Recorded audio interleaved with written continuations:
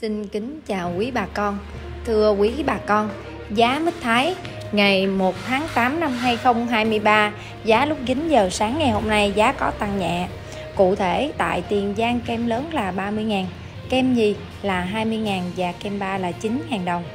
Tại Đồng Tháp, An Giang và Long An kem lớn là 29.000, kem nhì 19.000 và kem ba là 8.000 đồng.